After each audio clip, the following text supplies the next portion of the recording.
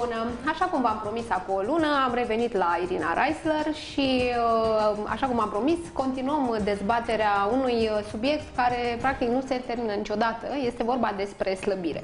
Și îl reluăm în contextul în care uh, situația uh, privind obezitatea și excesul ponderal la nivel mondial este cu adevărat îngrijorătoare. Se estimează că 1,9 miliarde de persoane din întreaga lume suferă din cauza excesului ponderal, iar dintre acestea aproape 700 de milioane sunt persoane obeze. Ce înseamnă persoană obeză? Înseamnă, conform calculelor specialiștilor, înseamnă un index de masă corporală mai mare de 30, care se calculează după o formulă pe care o știe toată lumea, dar mai înseamnă și o circunferință foarte mare a abdomenului, iar grăsimea acumulată în zona viscerală înseamnă, de fapt, o sufocare a organelor interne, înseamnă risc mare de boală cardiovasculară, de sindrom metabolic, de diabet. Nu vrem să vă speriem, dar totuși și tot ceea ce înseamnă mai mult peste 5 kg, care se acumulează în timp și care nu se rezolvă cât mai repede, uh, reprezintă un real pericol pentru sănătate. Așa cum spuneam, am revenit la Irina și continuăm discuția despre slăbire cu un subiect foarte important și un aspect foarte important al slăbirii, care este motivația și menținerea motivației pe tot parcursul procesului de slăbire. Așa cum știți, Irina are o poveste de slăbire impresionantă, uh, a slăbit aproape 50 de kilograme în decurs de un an și a reușit să ajungă la silueta de acum, silueta pe care o menține. Uh, bună, Irina! Bună, bine v-am uh, reprimit în uh, casa mea. Chiar ieri povesteam cu o clientă nouă despre povestea slăbirii mele și îi spuneam, zic, că au trecut 17-16 ani, aproape 17, dar când, când spun povestea slăbirii celor aproape 50 de kilograme, este ca și când lumea ar auzi-o pentru prima oară. Adevărul este că este o poveste fascinantă, dar e... este fascinantă și pentru că ai reușit să respecti timp de un an Uh, s-a produs într-un an, deci nu s-a produs peste noapte Evident. și ai reușit să te ții de ea. Tocmai subiectul zilei de astăzi, cum ai reușit să reziști un an de zi? Și cum reușești să reziști după ce termin, pentru că uh, mie marea provocare mi se pare menținerea, mie nu mi se pare neapărat slăbirea aia o faci până la urmă, faci efortul sau nu un efort, uh, cum să spun, noi percepem regimul ca pe prieten sau ca pe dușman. Este fix alegerea noastră și vom vorbi și despre asta. Uh, important este cum îți găsești motivația ulterior să păstrezi rezultatele. Pentru că um, ispitele sunt la tot pasul, pentru că um, tentația de a spune uh, hai mă, nu fi foc dacă iau și eu acum azi un pic de prăjiturică, ai că nu o fi foc nici dacă mai au și mâine și uite așa, încet, încet, uh, kilogramele încep să vină. Ele, sigur, nu se întorc uh, de azi pe mâine, la fel cum nici slăbirea nu se face de azi pe mâine, dar vin. Eu am trecut printr-o experiență de felul ăsta după ce am slăbit uh, cele 44 de kilograme la nu mai știu să spun exact câți ani trecuseră de atunci uh, și la fel, um, ușor, ușor am început să um, ciugul și puțin dulce și puțin piure cu carto, cu carne și uh, tot ce încalcă practic principiile alimentației uh, corecte. Nu realizam că mă îngraș Uh, mie mi se părea că totul este în limitele normale. Până la un moment dat, eram încă în televiziune uh, la vremea respectivă, uh, cameramanul mi-a făcut niște fotografii în timpul unei filmări și s-au nimerit câteva din profil pe de întregul. Și atunci a fost un șoc pentru mine să constat că sunt din nou grăsuță. Și am... Să spunem că s-au adunat câteva kilograme, nu câteva niciun caz. 10. Adică ajunsesem la 65 de la 55. Și nu ți-ai dat seama nu. cum încet, încet le-ai... Hainele uh, te păcălesc, am mai discutat despre asta, că au o uh, marjă de uh, elastic uh, în ele, uh, mai acoperi, mai uh, așa, nu, chiar nu mi-am dat seama până la fotografiile alea. Am slăbit din nou și de atunci nu s-a mai întâmplat.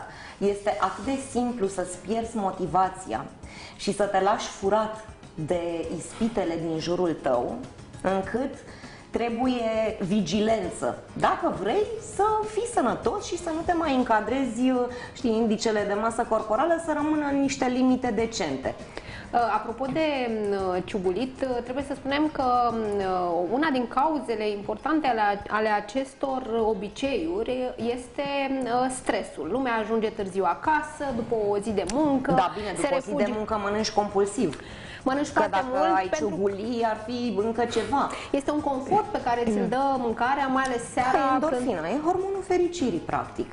Uh, în timpul zilei ciubulim, cum spui, pentru că pe orice birou găsești punguțe cu covrigei, pufuleți, uh, ciocolățele, bombonele și întinzi mâna uneori fără să-ți dai seama. Și sunt sute de calorii acolo dintr-o da. singură înghețitură. Asta e problema. Păi, Măcar um, dacă ar fi 50 de calorii la un săptămâna de... trecută cu cineva uh, despre cum s-a îngrășat uh, mâncând semințe, fără să știe, realmente nu a știut, că semințele îngrașă îngrozitor de tare și mânca pungi întregi de miezuți din aceia minunați, adică tuturor poate că ne plac, Uh, și a ajuns în grad de obezitate.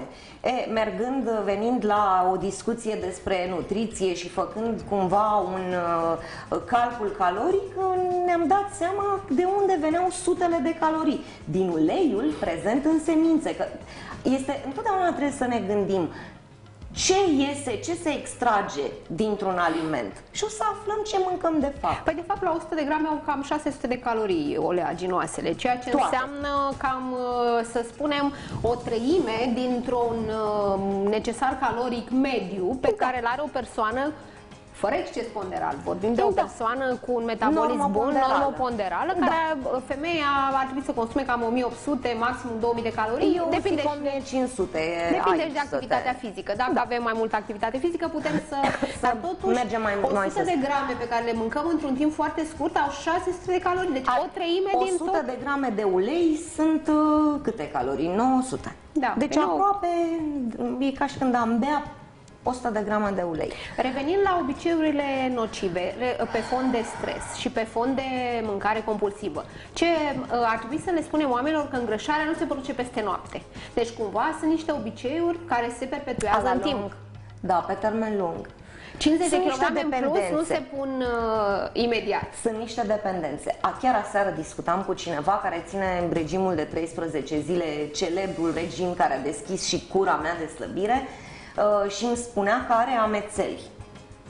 Uh, și uh, uh, altcineva îi replica, da, ai amețel că nu mai mănânci migdale și uh, da, este vorba despre o perioadă de sevraj.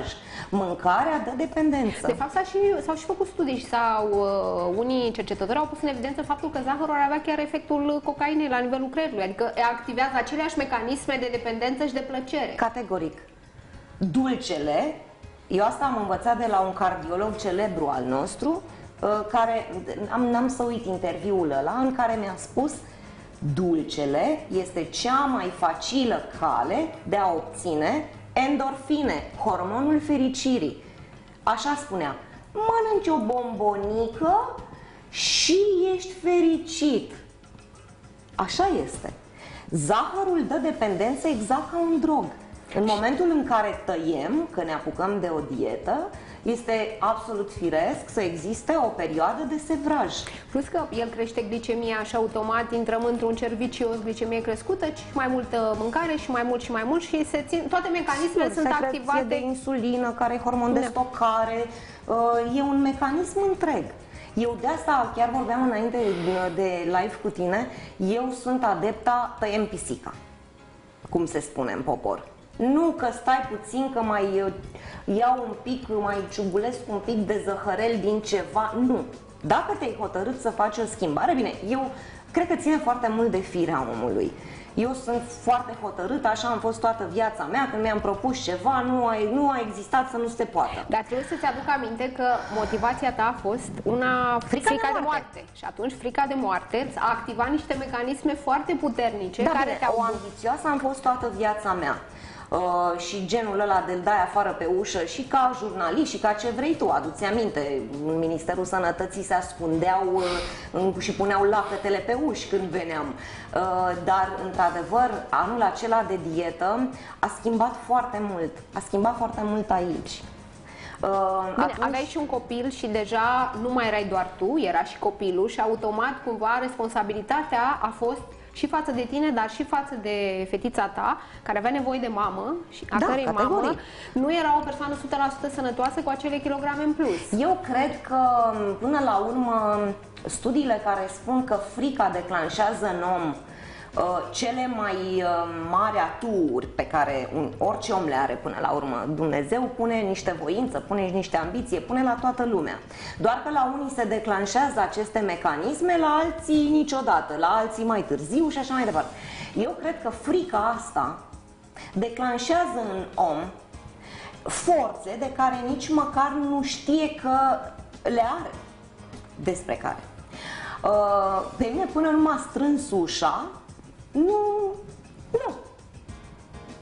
Mă fofilam de la o zi la alta, că stai că mai mănânc și azi, că stai așa că nu e chiar așa de rău precum se uh, spune, stai puțin că nu fi chiar o sută, uh, cântarul ăla stătea departe de mine. Și creierul mm. te păcălește. Creierul în niciun caz nu o să tragă semnalul de alarmă, fă ceva, pentru că el este, lui îi place să-i oferim Hai să satisfacția respectivă. din propria mea experiență. Organismul nostru este ca un copil. Îl avem cum îl creștem. Îl învățăm uh, cu ciocolată, cere ciocolată. Îi dăm să bea apă, cere apă. Nu îi dăm să bea apă, se descurcă și fără. Avem corpul și organismul așa cum îl educăm. Dar îl putem și reeduca. Da, dacă am fost, uh... Eu asta am învățat clientele. Fă un exercițiu de o săptămână, două și obiceiurile apă. proaste cu cele bune. În general, cu apa se începe că nimeni nu prea bea apă. Lumea bea sucuri. Da, bineînțeles, Asta e un prim cafea, ceaiuri, sucuri, da. Ar trebui să reamintim tot timpul că hidratarea se face din apă, din ciorbe, supe și fructe, legume. Atât. Restul, tot ce este lichid, sunt diuretice, tranzitează corpul foarte repede și, și cu multe calorii. Și, și cu... cu calorii, cu zahăr și cu tot palmaresul dar celula nu, nu are timp să se hidrateze. E, și atunci primul exercițiu este cel al apei. Și asta spun tuturor. Te rog frumos, pentru mine, din prietenie, din respect, din ce vrei tu, dacă tot ești aici, puneți ceasul să sune din jumate în jumate de oră și ia o gură de apă, că nu-ți spune nimeni să bei un litru la jumătate de oră. Și ai să vezi că într-o săptămână corpul tău va învăța să ceară apă. Sau tranziția pe care o recomandă toată lumea, dacă tot beți sucuri și alte lichide, încercați în apă să puneți câteva felii de fructe, da, uh, mentă, foarte multe plante aromatice Sunt care pot, de rețete. pot păcăli uh, în prima fază creierul că îi dai tot ce a primit prima oară. Asta nu înseamnă smoothie. Nu, nu, nu. nu Am nu, zis nu. două felii de fructe într-un litru cu apă. două felii de lămâie sau două felii de castravete sau niște frunze de mentă sau două, trei felii de căpșună. Așa întregi, nu pasăm, nu facem da, un blender că și mirosul, bombe calorice. Mirosul ne poate păcăli că, că e ceva mai bun decât apa hai, uh, cu care hai nu suntem obișnuiți. Hai să-ți mai spun ceva. Uite, eu cred că ăsta e un alint. Vai, nu pot să beau apă. E răsfăț. Dar medicamente de ce putem să luăm? Atunci haideți să tratăm apa ca pe o terapie. Fac terapie, antibioticul mi iau la timp, da, dacă e nevoie, da, aspirina mi iau la timp, da, bun. Uite, e un tratament, fă Mai departe, cum facem cu alimentele hipercalorice, care au, ne-au dat, care ne dau plăcere? E vorba aici de dulciuri, e vorba de alimentele cu multă grăsime. Cum le cum păcălim creierul și ce îi dăm um. în schimb ca să fie și mulțumit, pentru că asta, dacă e vorba de slăbiri mari, trebuie să rezistăm pe termen lung cu aceste modificări până să da. ajungem la schimbarea finală definitivă, care presupune un stil de viață sănătos cu consum ocazional din hiper, alimentele hipercalorice. Eu mi-am focusat atenția spre alte lucruri. Adică... Ai atunci... schimbat o plăcere cu alta. Exact. Și asta învăț pe toată lumea. Nu mai căuta fericirea în frigider și în farfurie. Caut-o în altă parte. Nu se poate. Trebuie să existe ceva pe lumea asta care să te facă fericit. Eu, uite, am experiența făcutului de bijuterii. În momentul în care m-am așezat la masa de lucru și am băgat mâinile în pietre și am început să lucrez, nu mai simt nici foame, nici sete, nici somn, nimic. Țineți creierul ocupat.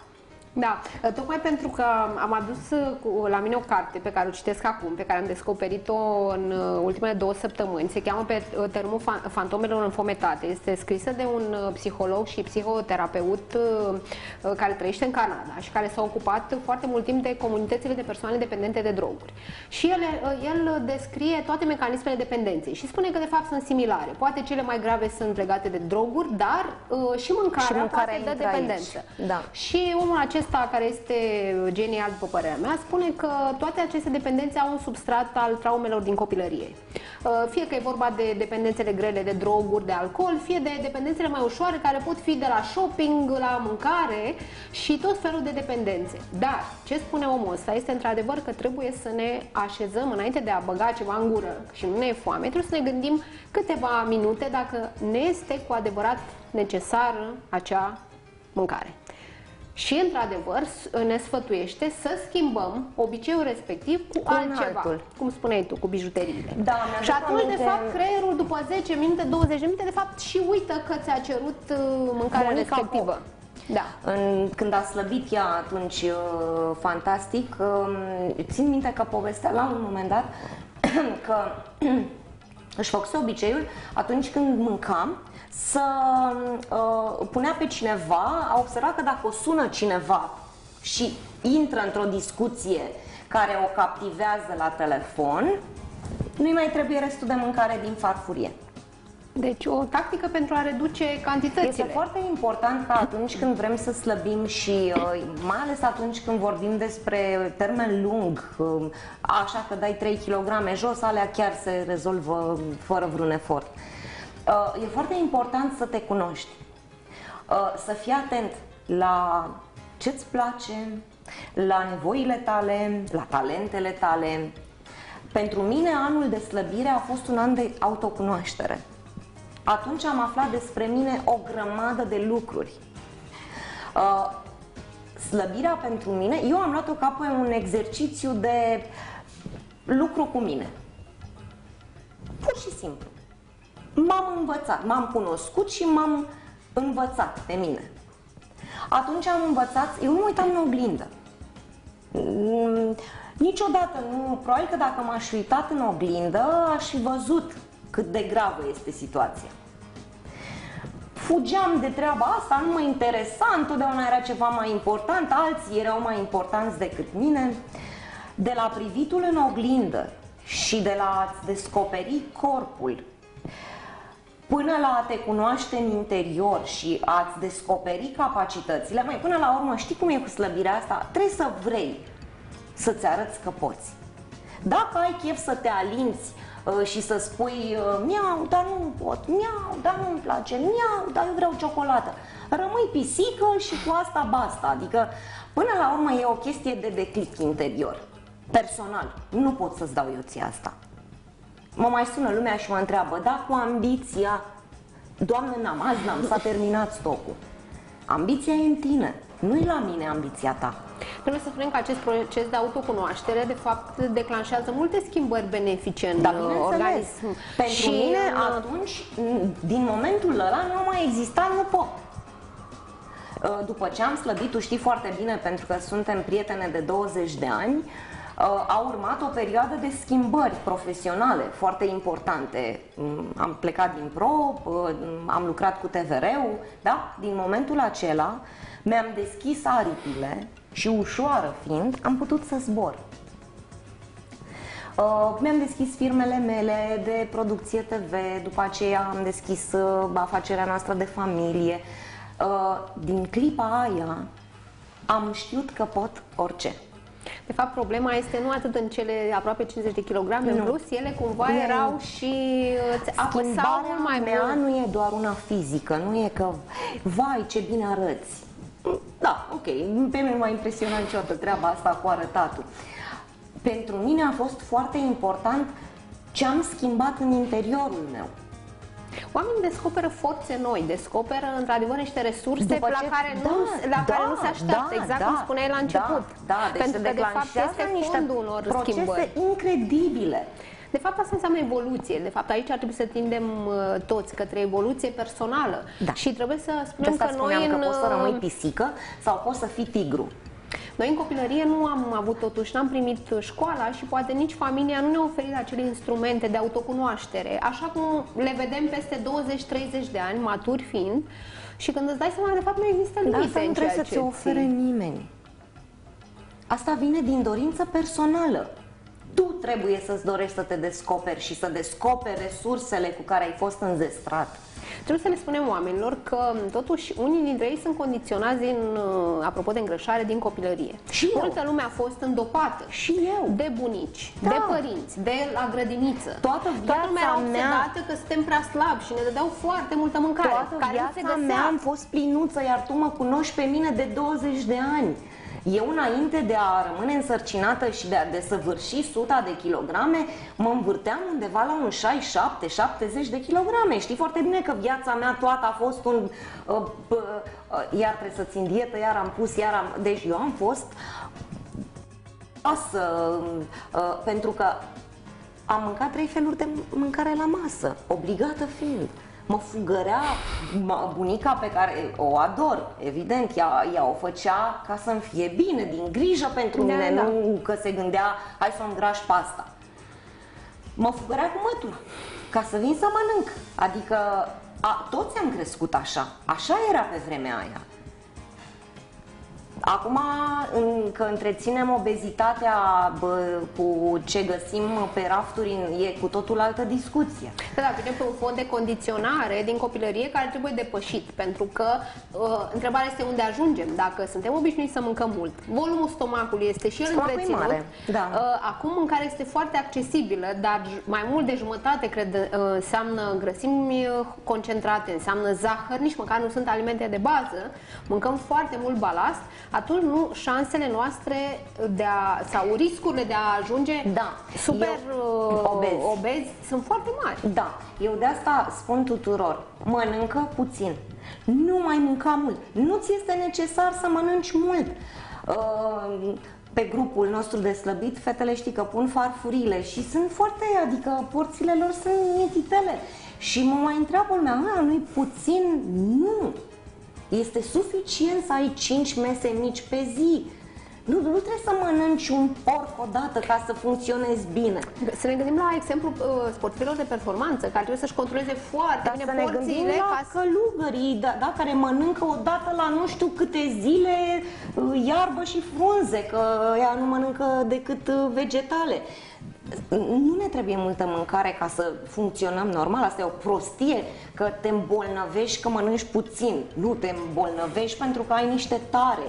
Din vremea în care băgai tot ce prindeai Ca să nu mai spunem că studiile actuale spun că fastingul și chiar uh, ușoara înfometare sunt chiar benefice pentru organism și asta înseamnă longevitate, că nu ne mai consumăm resursele biologice cu digestia care este Chiar ieri foarte mă întreba consumatoare cineva de resurse. care e secretul tinereții mele și eu cred că inclusiv mâncatul puțin este. Eu în momentul în care uh, am perioade de stres și, și uh, mănânc mai mult decât uh, sunt obișnuită, mă parcă nu mai îmi place fața mea. Se întâmplă ceva, o schimbare. E toxina aia care probabil vine din, uh, din alimente și este energia consumată în procesul de digestie. care nu mai este direcționată către refacerea pielii și altor a celulelor structuri. și așa mai departe. Deci da. cumva digestia o- chiar ne ocupă foarte asta, mult din resurse. Asta e un alt subiect pe care aș vrea să-l vorbim. Vin femeile uh, aici la noi și îmi spun Uite-te cum arăt, uite-te cum arăt, uite cum arată corpul ăsta. Oribil, am picioarele oribile, am... Nu mai vorbiți urât despre corpul vostru. Corpul este o victimă a noastră. Nu arată el urât că vrea el să arate urât, arată așa pentru că noi nu avem grijă de el. Pentru că mâncăm prea mult și bă, suntem supraponderali, pentru că nu facem nimic ca să arătăm mai bine. Corpul e o victimă. Nu trebuie să vorbim urât despre corpul nostru, din potrivă, trebuie să-i mulțumim pentru că ne poartă zi de zi, pentru că ne suportă greșelile zi de zi și pentru că rezistă în fața atacului nostru zilnic cu mâncare de proastă calitate și multă, zahăr, lipsă de mișcare, tatam, tatam, tatam, că face față și rezistă. Iubiți-vă corpul. Iubiți-vă corpul și re educați-vă creierul, pentru că tot acest om spune că în, în această carte spune că nu trebuie să ne considerăm uh, victime, uh, nu știu, de nerecuperat Cred în urma acestor carte, decizii, pentru că creierul are capacitatea, neuroplasticitatea să păstrează tot restul vieții și obiceiurile acelea nocive, practic, pot fi schimbate cu obiceiuri sănătoase, însușite, da. iar creierul să știe în momentul în care tu vrei o prăjitură versus o salată, în momentul în care s-a reorientat către lucrurile bune și benefice pentru organism, nu va alege salata. Va alege salata. Da. Și se va gândi, uh, ne vom gândi, de fapt, ideea este să avem o atenție conștientă atunci când alegem mâncarea. Așa este. Uh, am fost la munte acum câteva weekenduri și am zis, uh, ia să mă răsfăț și eu. Hai, pe bune acum, ce am chef din meniul ăsta, asta să fie. În prima zi mi-am luat un desert. Nu mi-a fost chiar ok după el, adică nu că nu mi-a fost ok, dar asta și mă întrebam, dar ce mi-a fi trebuit mie chestia? Adică nici măcar n-a fost așa wow să, să zici că te-ai ridicat în al nouălea deci cerș și... nu mai fost fericit când nu. ai, uh, ai mâncat desert. Și am stat și m-am gândit, ăsta e creierul meu care mă ceartă, nu că mă ceartă, care zice, auzi, băi, Irina, dar pe bune, chiar ți-a trebuit să bagi zahărul ăsta în tine, în mine, în uh, tot da, organismul? pentru că acum satisfacția și o ia din viață sănătoasă și din alegerile corecte da, pe care le faci. A, a doua zi mi-am luat un uh, uh, cocoșel de munte cu uh, niște brocoli și am fost foarte mulțumită. Fără niciun efort, jur. Deci se Eu v-am mai spus, nu sunt habotnică, nu sunt din aia care să spună vai, nici fițoasă, nici preten... Nu, nu sunt genul ăla. Sunt un om foarte obișnuit. Vă spun la modul cel mai sincer, chiar se poate. E adevărat, au trecut 16 ani de exercițiu, plus cel de slăbire, 17. Dar cum spuneai, nici kilogramele alea nu s-au pus peste noapte. Adică nu, la trebuie mine au fost ne... din totdeauna practic kilograme în plus și le-am desăvârșit în timpul sarcinii. Da, da, este tot o perioadă pe care... Uh, uh, da, sarcina mea a fost la 27 de ani, deci practic eu am adunat tot balastrul ăla în 27, 27 de ani. Nu au venit uh, așa deci, în cele 9 luni de sarcină, vai, eu am ajuns de la 50 la 100. Nu. Deci în timp și atunci trebuie să dăm același timp, dacă nu, nu dacă cel vrem. puțin egal, uh, reobișnuirii și reeducării. Eu sunt ferm convinsă că a slăbi și a menține, dincolo de ceea ce mâncăm, este o chestiune legată de creierul fiecărui om. Și mai am ceva de adăugat. Tot din cartea asta, apropo de bijuteriile tale, uh, psiho, uh, psih, acest psiholog spune că la final, după ce ne reobișnuim și ne reeducăm creierul, spune că de fapt misiunea supremă este creativitatea și de fapt creierul nostru va fi foarte fericit dacă tot ceea ce facem și tot ce înseamnă de la hobby până la, uh, nu știu, pasiuni, sunt, uh, e stimulată creativitatea. Și atunci, de fapt, satisfacția este maximă și nu, înseamnă, nu mai înseamnă kilograme în plus. Of, Doamne, atât de mult îmi doresc ca lumea să nu se mai bucure de fasolea cu cârnați, ci să înceapă să se bucure de o carte, de creativitate. Știi, oamenii spun, vrem schimbare, uitați ce urât este totul, politicienii, aia, aia. Dar schimbă-te pe tine mai întâi. Pentru că este om cu om, se face o armată. Încep schimbarea cu tine fără frică. Fără frică. Asumă-ți timpul, pentru că până la urmă orice schimbare, cum spuneai, durează și fă pentru că finalul este atât de frumos și vei descoperi în tine atât de multă lumină pentru că până la urmă resursele noastre interioare se traduc prin lumină, cu mare. Toți am primit aceste daruri. Nu sunt eu un caz aparte, nu sunt eu vreo privilegiată a sorții ca mine, există foarte mulți oameni care au reușit. De fapt ne naștem egal și avem cu toți un Categoric. potențial pe care trebuie să să-l folosim la maximum atâta timp Chiar cât trăim. Avem o singură viață. Că eu cred că fiecare om când este el uh, în starea aia de spirit, gata, pregătit să plece pe pământ, Dumnezeu îi pune în brațe un vas în care, sau așa-mi imaginez eu, în care pune iubire, sinceritate, ambiție, istețime, da? Mai departe, ce faci tu cu vasul ăla și cât de adânc bagi mâna în el ca să descoperi ce ți-a pus acolo Dumnezeu, este o chestiune de alegere personală. A slăbi și a menține este o chestiune de alegere personală. Depinde ce vrei pentru tine.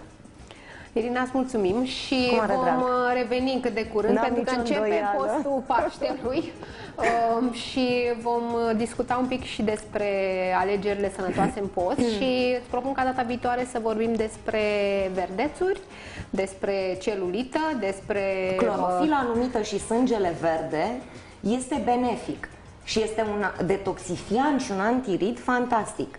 Că tot mă întreba cineva aseară care e secretul tinereții. Mănânc foarte multe alimente verzi. Vin urzicile în curând, vine ștevia, usturoiul verde, vom profita la maximum de ele și vom discuta despre ele. Mulțumim! Cu drag!